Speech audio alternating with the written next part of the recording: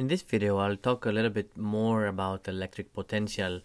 So I know that the electric potential from a single point charge is given by the equation 1 over 4 pi epsilon naught, which is a constant 9 times 10 to the 9, times the charge q1, that's the charge that creates that uh, electric potential, and then I have the magnitude of the vector r from 1 to 2, now what this vector is, if I have the source charge Q1 at location 1 and I want to find the electric potential at location 2, this vector R goes from 1 to 2. It has the tail at the charge Q1 and the tip is at the location 2 where I want to find the electric potential. Now, some uh, a simple example let's say that I have Q1 is an electron so the charge will be minus 1.6 times 10 to minus 19 coulombs. And let's say that that distance because it, it is really distance between point 1 and point 2 let's say that this is 5 centimeters then what we get let's call I'm gonna call this one equation 1 so from equation 1 this is equal to 9 times 10 to the 9 I'm because that's the constant and then I have q1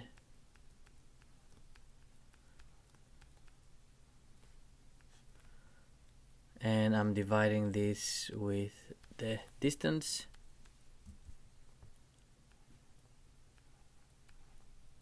And this is equal to 290 if you do 9 times 1.6 divided by 0.05 you will find a minus with the minus sign 290 times 10 and then for the powers of 10 I have 9 plus 9 minus 19 and this is gonna be in volts. Now what do we do if we have not one charge like we did here? We had just q1 but we have another one. So let's say we have charge q3 right here. And we can use the same process let's say that q3 let's make that a proton plus 1.6 times 10 to minus 19 coulombs. And let's say the distance from 3 to 2 is now equal to 0 0.04 meters. So we're talking about 4 centimeters. Now to show I can show you what that vector looks like from 3 to 2 that's it. So this is the vector that goes from charge 3 to location 2 where I want to find the electric potential. Now the electric potential from charge Q3 at location 2 is equal to the constant. We have charge Q3 and we're dividing with the distance from 3 to 2 9 times 10 to the 9 and I have plus 1.6 10 to minus 19 coulomb divided by 0 0.04 meters.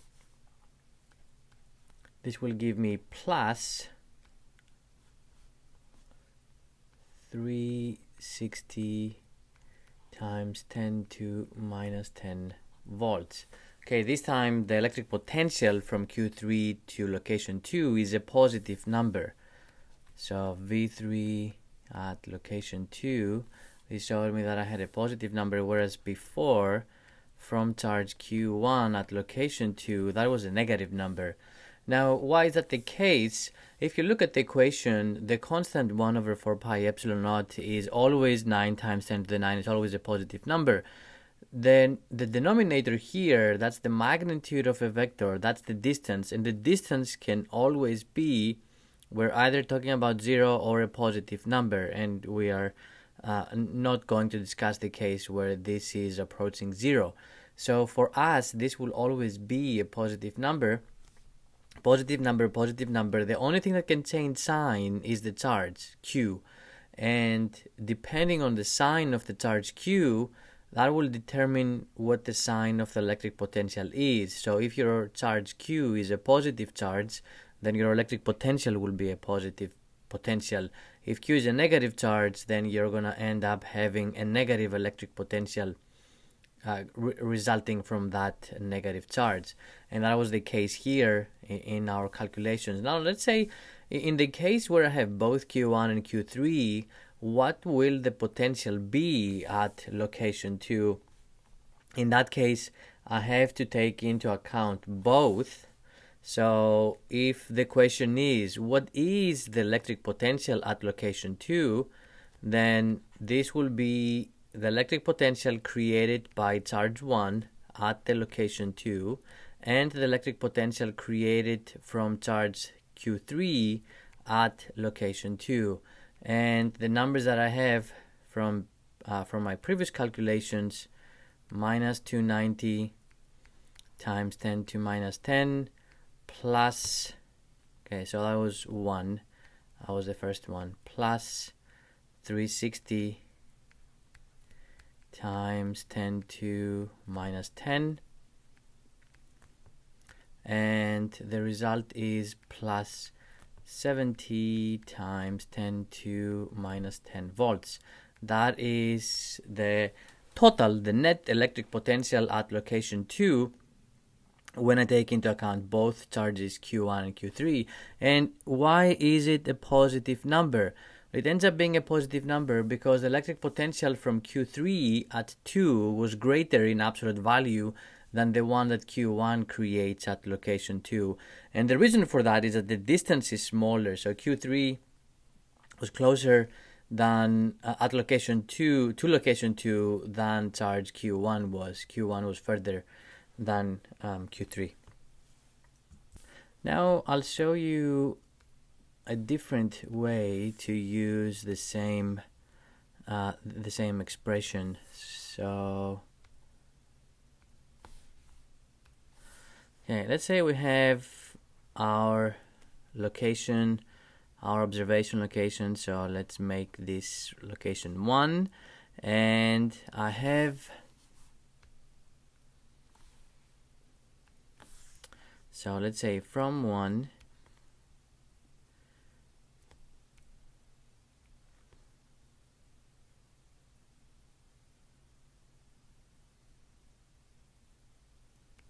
okay I have the same distance on both sides.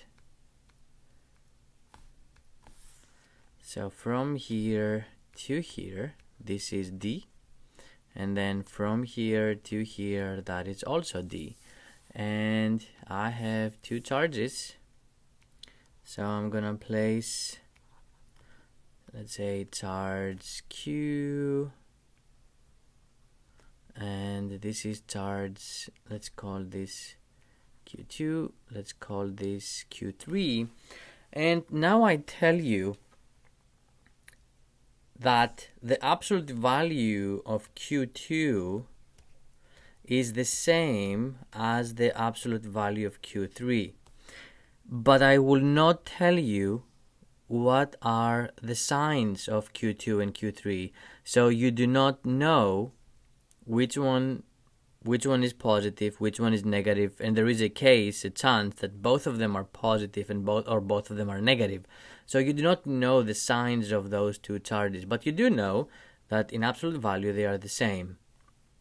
And they're also the same distance from point 1. Now, if I tell you that the net, the total electric potential at location 1, what can you conclude? Okay, let's see what information I can get from from this. Now I know that the the net electric potential at one. Okay. So I know because I have two charges nearby that the electric potential at 1 is going to be the electric potential that charge 2 creates at location 1 plus the electric potential that charge 3 creates at location 1.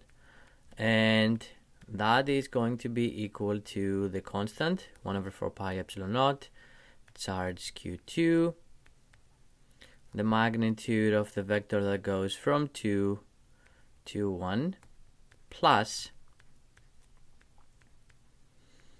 the constant q3 the magnitude of the vector that goes from 3 to location 1 now the, as I said before the the constants are always the same 9 times 10 to the 9 the distances so let's do okay 9 times 10 to the 9 I have q2 divided by d. How about I do this? I can take out the constant as a common factor plus q3 over d and that is the electric potential at location 1 but I do know I, it was given to me that v1 is exactly equal to 0 now because okay, every anytime you have a product that is equal to 0 so let's say a times b equals 0 if you have something like this there are two possibilities.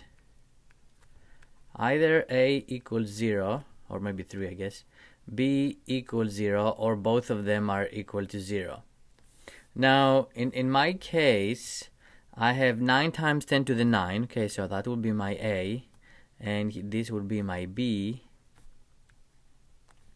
Obviously a 9 times 10 to the 9 which is um, factor a here is not equal to 0 so the only way to make v1 0 is to make this factor equal to 0 and this means that q2 now I'll change it a little bit since they have the same denominator. Q2 plus q3 over d is equal to 0 and if I multiply both sides with d then what that gives me is that q2 plus q3 is equal to 0 or q2 is equal to minus q3 okay this is my finding.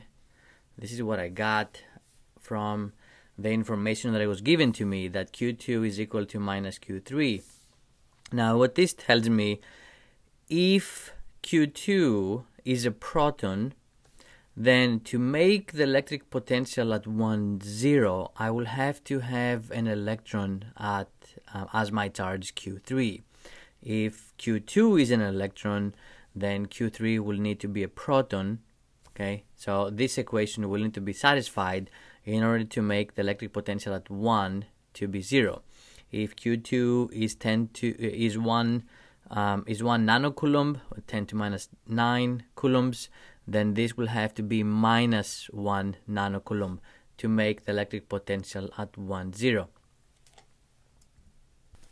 Now I can also ask you, okay, in the case where V1, the electric potential at 1 is 0, what is the net electric field?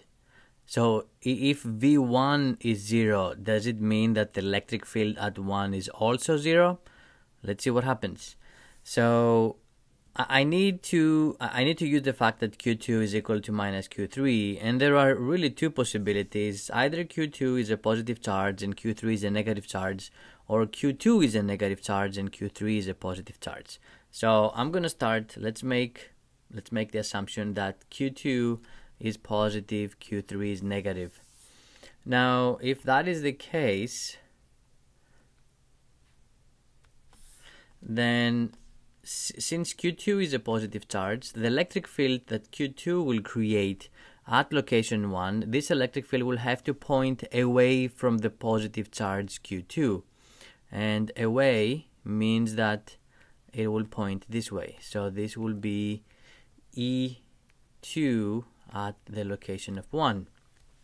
Now, for for the electric field that charge Q3 creates, this is a negative charge, and negative charges create an electric field that points towards them. So at the location of Q1, an electric field that points towards Q3 will also point to the right. And this is the electric field that charge Q3 creates at the location 1. And if you add these together, you will get, okay, I'll draw it here. It's to be an electric field that is really the sum of these two.